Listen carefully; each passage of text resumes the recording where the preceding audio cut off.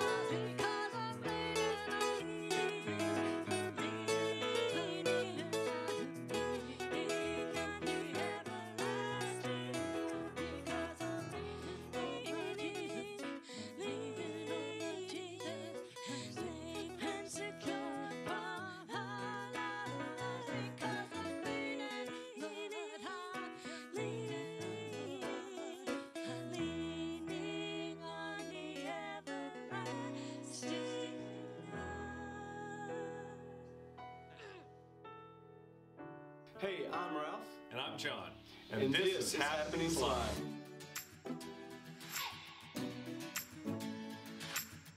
Hi, I'm John Rowe. I'm the Director of Student Ministries here at First Broad Street. And I'm Ralph Jeffers, and I'm the director of the Encounter Worship Service, and I'm also the assistant to the student ministries right. directors. We are glad that you're here today. Welcome. If you are a first time visitor, we want to make sure that you sign the pad, of course, but especially out front, there is a visitor center. We want you to go home with a gift today and some information about our church and hope that you'll return. But we are so glad that you're here today to worship with us. One of the unique opportunities we have here at First Broad Street for our college students is our summer internship programs.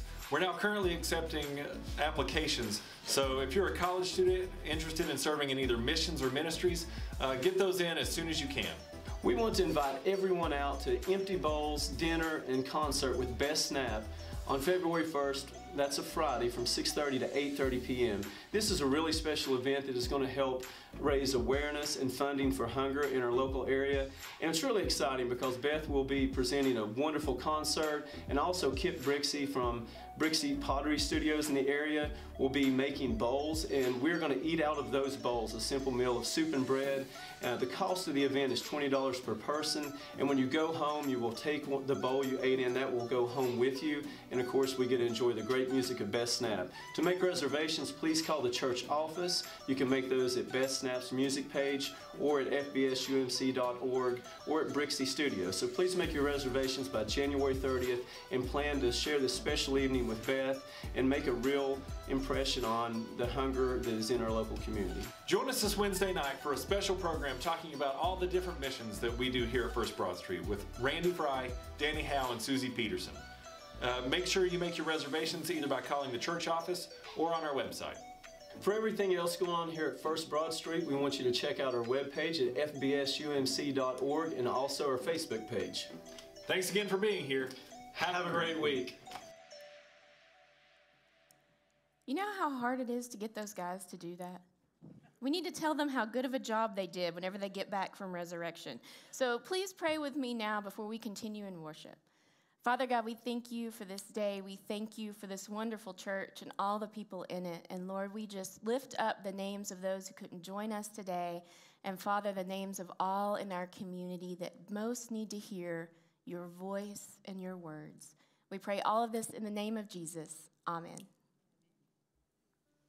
Please stand with me as we turn our eyes to Jesus and worship.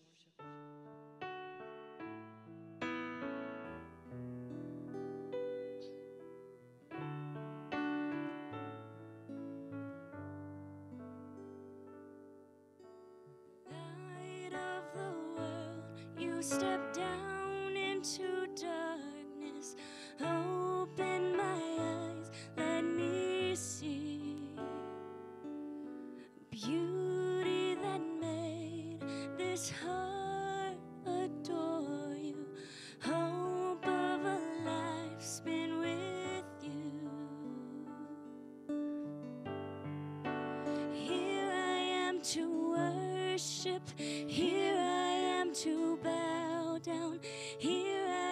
to say that you're my God. You're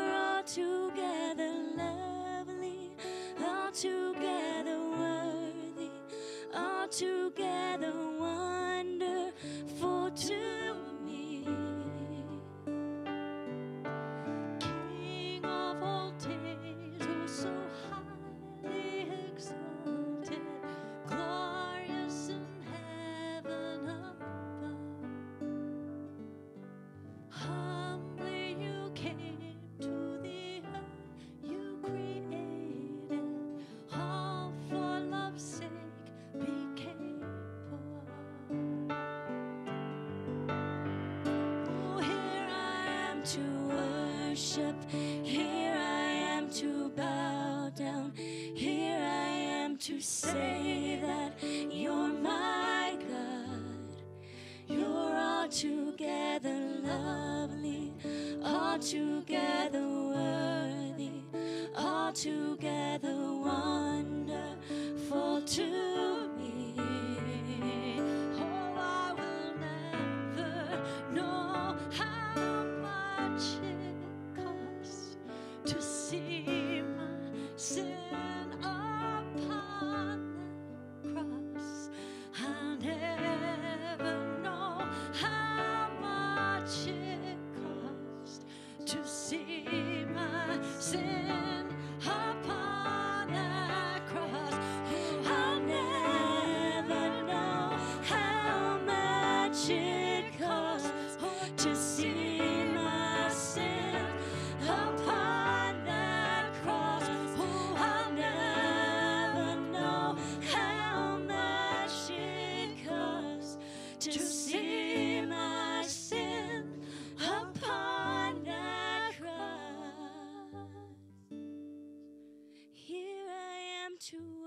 worship.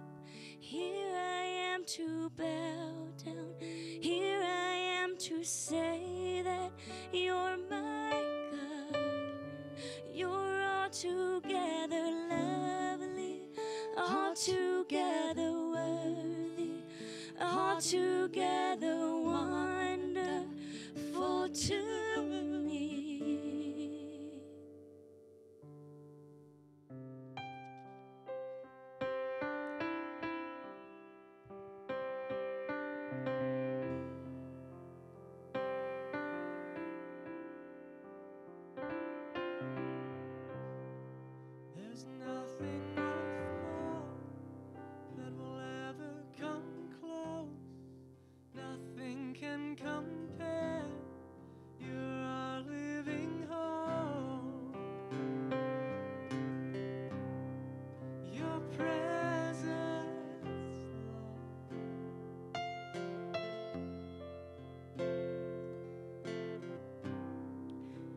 tasted and seen of the sweetest of love, when my heart becomes free and my shame is undone.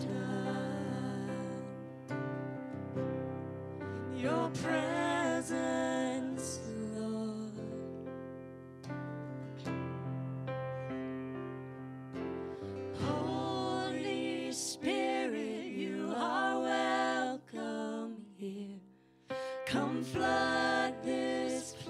and fill the atmosphere.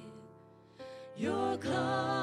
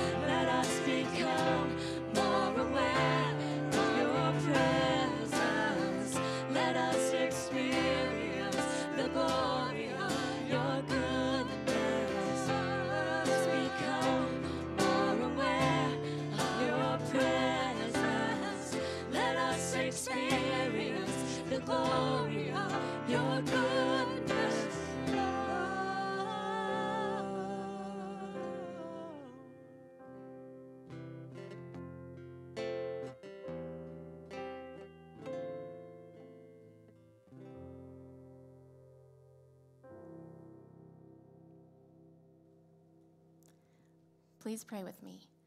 Father, let us experience the glory, the, the truth of what it means to be in your presence. Lord, your presence is what life is all about. May we be a people who live that kind of life, a life that reveals your presence and not ours. We pray all of this in the name of Jesus. Amen. Please be seated. Again, welcome to Encounter. A couple of announcements. We saw in Happenings Live about the Empty Bowls fundraiser that's coming up on the 1st. And since the video was made just a few days ago, we have now maxed out. So there are no more seats for the fundraiser, which is fantastic, but also means that if you did want to come, there's not any room. But you can still give towards our food ministry if you like, and I would bet that there's a way we can maybe find you another bowl if we can. So, if that's something you're interested in, just let us know. It is a wonderful experience, and thank you, church, for being so willing to step up and be part of that fundraiser. Another announcement is that if you look around, we're a little lighter on the people here, but there's such important people here. And that's because we have 103 at Resurrection between students and chaperones, which is huge, especially when you see them all together and very loud. Um, and they are being led around by um, me on a stick. It's my giant head um, on a stick, and it's not the most flattering picture, but the kids love it. Um, and so that is happening right now as we speak. They're in their final session, and so it was a wonderful weekend. I left last night, so uh, there's not enough makeup in the world to cover up the, the circles under my eyes, but it was a lot of fun, and so our kids are amazing. Also, we have 36, 37 who just left yesterday for Belize on a medical mission and that is amazing. And most of those come from you guys, from Encounter. So thank you for that. And we want to continue to be praying for them as they're in Belize and just all that they're going to experience and see and all the service they will do to those people. And that is just a wonderful thing that our church has been part of. And it's very, very, very exciting. Um, so it's a wonderful day just to be together and praise the Lord and just celebrate all that we're able to do through church and through God.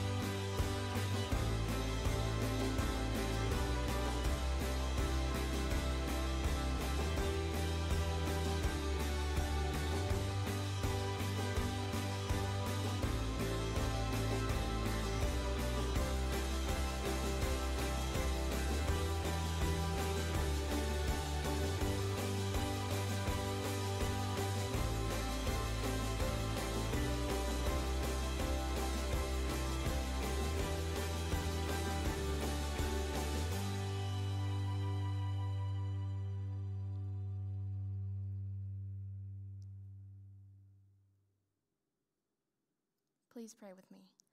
Father, may the words of my mouth and the meditations of all of our hearts be found pleasing before you, our rock and redeemer. In the name of Jesus Christ and through the power of the Holy Spirit, we pray. Amen. So, we are continuing our reconstruction series, and this week we're going to talk about ego. I'm sure everyone and their ego is really excited about this, right? Yes. The, the, yes. Thank you. See, one person is excited. Okay, so ego, we hear so much about ego, and most of it is negative, right? We hear about how, oh, that person just has this huge ego. You know who I'm talking about in your life, right? That person who has an ego, and it's never you, right? Right, none of you, none of you have to worry about this. You're great. So we always talk about how people have egos in a negative sense, that they are just maybe full of themselves. They love themselves a little too much, maybe. And so I was looking up the definition of ego, and it turns out that's not the definition of ego. The official definition of ego is a person's sense of self esteem or self importance. And so we, we assume that an ego means that they are really, really sure of themselves or a little too sure of themselves. But really, ego is supposed to just be your self esteem, whether good or bad, high or low, and your concept of whether or not you personally are important. So, self importance. That's what ego really is supposed to be. So, I have a fun cartoon for you, and you probably, let's see if you'll be able to read it. Might not be able to from there, but it says, With great humility, I humbly and publicly confess the biggest struggle in my life as a Christian is being right about everything all the time. We never get in trouble for that, right, as Christians? Okay, so this is how we usually view ego in a negative sense. Okay, so Jesus has a little bit to say about it. This is from Matthew 5. He says, Now when Jesus saw the crowds, he went up on the mountainside and sat down. His disciples came to him, and he began to teach them. He said, Blessed are the meek, for they will inherit the earth. So we've heard this one most of our lives. If you've been in church at all as a Christian, you have heard the Beatitudes spoken about. And we learned a few weeks ago that Beatitude simply means utmost bliss and it's talking about the bliss, the happiness of heaven, which is not an emotion, but it's sharing in God's family, in the inheritance of God. It's being brought into the home of God. That's what a beatitude is. So the beatitudes are to give us an idea of what the kingdom of heaven will be like. And so this is saying that the meek will inherit the earth. So I looked up the actual definition for meek because usually what we, we see is someone who's quite submissive, or as it says in the definition, quiet and unwilling to disagree or express views. That's the definition of meek. Does that fit your idea of meek? It fit mine pretty close. Much better than my definition for ego, right? So I was like, okay, we're on the right track. But then I started thinking about Jesus. So um, Jesus wasn't quiet when you think about it. Jesus wasn't quiet, was he? No. He really spoke up. So Jesus wasn't quiet. He also disagreed often, right? He would sometimes, especially in the book of Mark, be, and I like to call it, a little snarky, which means he would kind of get in people's faces a little, really call them out. Say, you're doing this and you shouldn't do it, or you're not doing this and you should. Telling them the hard truth. And he expressed his views regularly, didn't he? He told you what he thought. That's what even one of the scribes said I'm going to ask you a question because you don't care what people think when you answer them. And the scribe was trying to be snarky to him, and so he, he got it back from Jesus. Jesus is a cool dude. It's great. So I, I, I made a meme.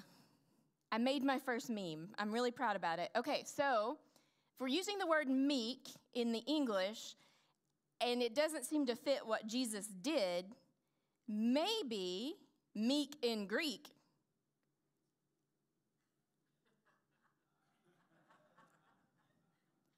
Yeah, right? So, meek in Greek, I do not think it means what you think it means. And so, this is from The Princess Bride, if no one has seen it. It's one of my favorite all times movies, and it's a pretty good book, too. So, check it out.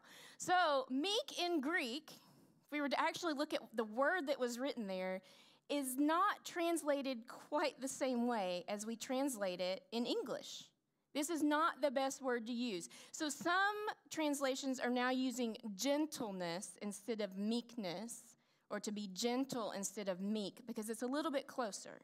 So, meek in Greek, especially if we are looking at the way Jesus lived and acted and spoke, Jesus and meekness, we understand that a better translation for that is strength under control. So, the thing about Jesus is his ego, his self esteem, his idea of self importance was all wrapped around his relationship with God, right? Now, he could have, if he wanted to, destroyed all the Romans, right? He could have destroyed all of the Jews who were mistreating him. He could have done that if he wanted to, yet he did not. Despite the fact that eventually they spit on him, they flog him, and then they crucify him and kill him. He had the power, he had the strength throughout this to fix the issue, right? And yet he chose not to. For a very specific reason, he had to die for our sins. All of these things that we understand about what he did. But what it teaches us is the true meaning of power, the true meaning of strength, is not needing to tell people how strong you are. True strength, true power, doesn't need anyone to acknowledge that power. True strength, true power is knowing you have the strength and being gentle about how you use that strength because it could hurt someone else if it wasn't done carefully. The same is true in our lives. You know, you've met that person who feels like they need to brag all the time. Have you ever met that person? They need to make sure you know how important they are or all the great things that they've done. And you, you really, in the back of your mind, you're like, can you just not do that so that we can just get to know each other? You have ever thought that? And a lot of times people think, oh, they're so arrogant or their ego is so out of control. And in reality, for them, it's actually they have very low self esteem, a very low sense of self importance. And so they need to feel important and so they're going to tell you how important they are. But that should be your first clue that in reality, they think of themselves very poorly. And so Jesus comes along and he's saying, Your idea of self importance, your idea of self esteem should not be based on what you have done or you or any of those things. If you, if you take a look at your life and you're looking at it and you're like, man, I am not where I wanted to be at this age. I have not done what I really wanted to do. And we look at ourselves and we, we start to feel bad about it. But the fact is, the only thing that matters is do you have a relationship with Jesus Christ? And if our idea of self importance, our idea of self esteem is all wrapped around that relationship with Jesus and what it means for us, we don't have to talk about how great we are because now we can start talking about how great Jesus is. We don't have to point people to us to feel better. We point people to Jesus because that's where we have received our strength, our true self esteem, our true self importance should always come from relationship with Jesus. Our sense of security, our sense of identity, all of that should be based in Jesus, not what we've done, not what we're going to do, not what we wish we'd done, but where we are with Jesus. Because if we go back and we, we look at all of the things we've been studying as part of this series, we started with Epiphany. And this is on the little notes so that you can take that home with you if, you, if you'd like. Is that it says if, if Epiphany is about tearing down walls, it's about leveling the ground, starting something new. And baptism is about God's blueprints. You, you accept that God has the right plan for you. And so, and then, so that means that relationship, relationship is our firm foundation. So last week we talked about mourning, how people mourn for those that they've lost or never had or what might have been. And all mourning is, is a desire for a relationship, whether it's a relationship that was lost or a relationship you never had, things like that. And so a strong relationship with God gives us a firm foundation for whatever is going to be built in our lives. So when we get to ego, instead of it being a negative thing, our ego, if it's based in Christ, is a good thing. It's having strong walls that support, even though they're going to be hidden. Right? The walls that go up, if you're just talking about the beams that go up to support the roof, you don't see those. All those two by fours or two by sixes, depending on your house, are hidden by your sheetrock, right? Or plaster. Thank you. Yeah. Yes, it's hidden. Or your siding that's on the outside. People can't see what makes you so strong. That's what our ego is supposed to be like.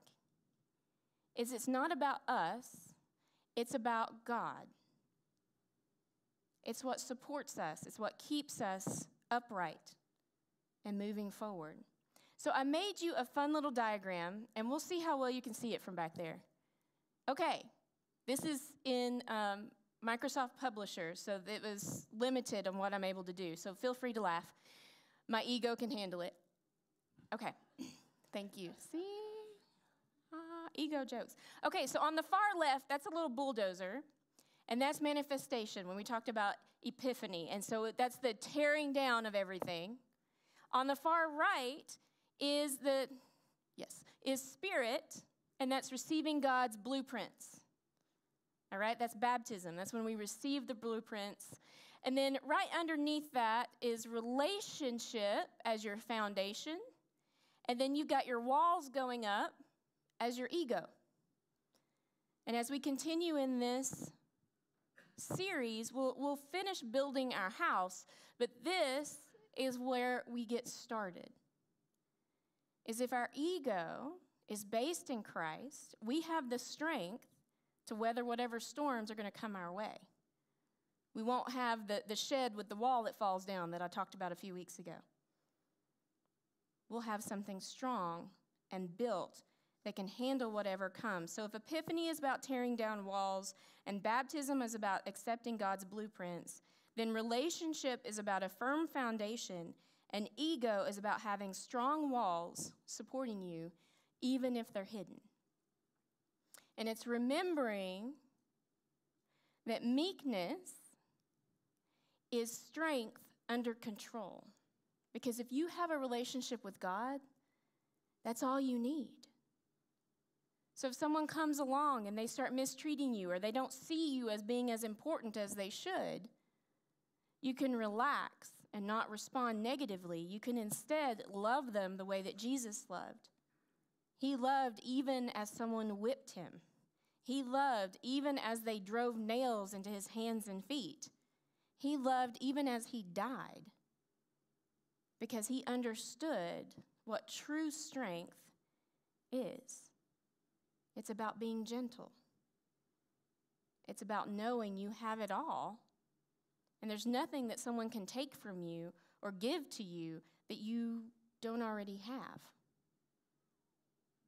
So when we base our lives on that, when we build our walls from that, there's nothing we can't do. There's nowhere we can't go. There's nothing we can't handle because our strength lies in Christ and not in ourselves. So, this next song that we're going to sing, that's again, this is your time to respond. You can light a candle and a prayer in your heart, or maybe there's an area in your life that you need to turn over to let God be the ego in that rather than whatever is in your own life. And then we have the kneelers where you can kneel to pray. If you'd like to pray with me, I'll be over here on the far right if you'd like to pray with me. But this is your time to respond. We have our offering tokens. If there's something you want to place in the offering baskets to show that you're offering to God or that you're giving to God throughout your week. But let's worship together. Let this be our prayer. We bow our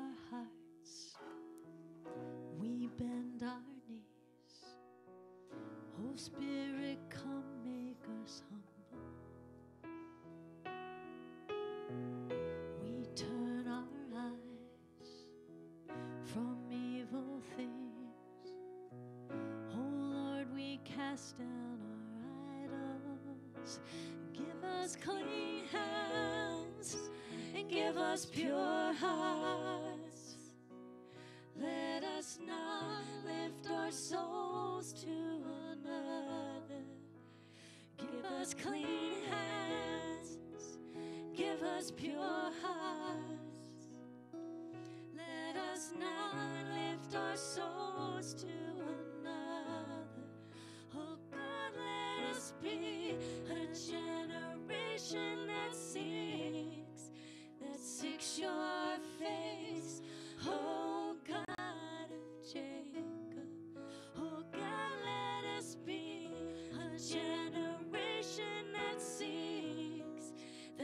Yorkshire.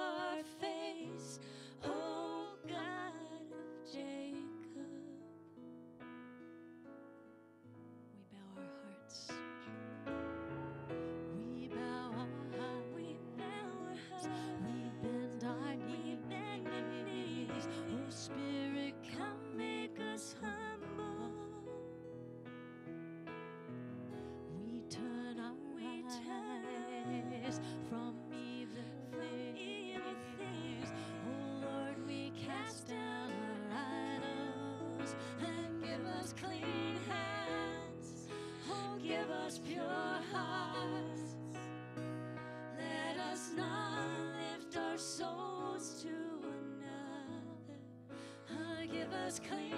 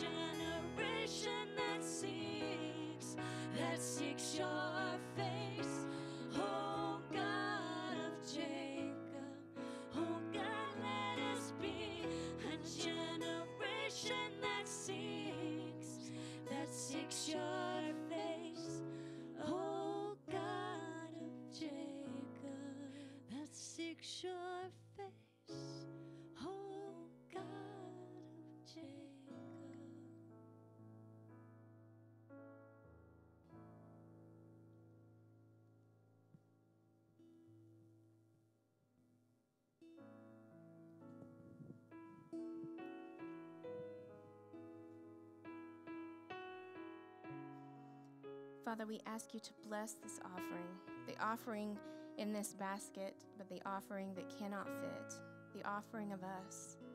You have given us all. May we give some of it back. But Lord, help us to be a people that reach to give all of ourselves to you. We pray all of this in the name of Jesus.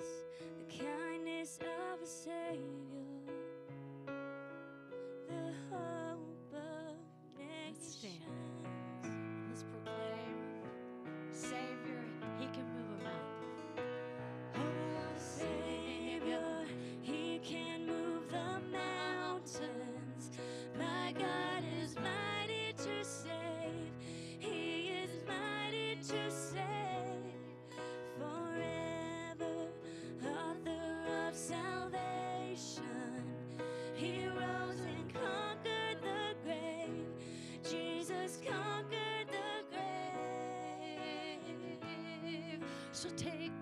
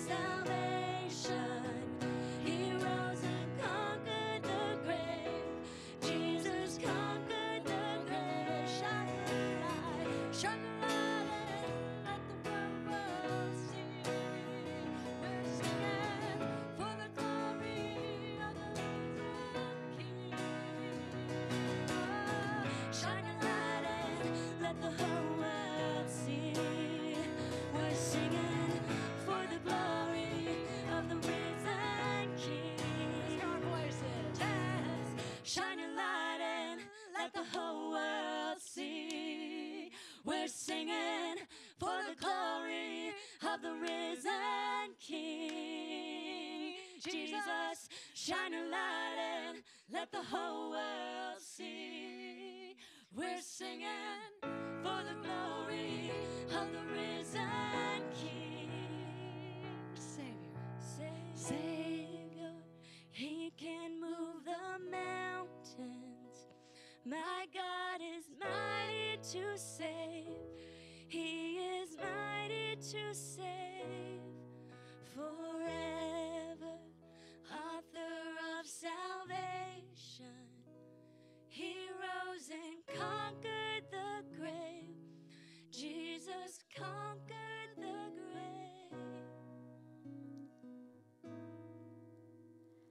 Please pray with me. Father, we live in a world that is all about self importance, that is all about what we accomplish, who we are, what we do, where we're going. Lord, we need a world that is all about you, that when we receive our importance from you, it's an importance based in love.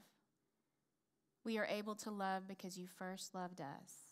Help us to be a people that lean on you in gentleness, so that we know it is your strength under control, even through us, that allows us to face this world and anything it can throw at us. We pray all of this in the name of Jesus and through the power of the Holy Spirit. Amen. Go in peace.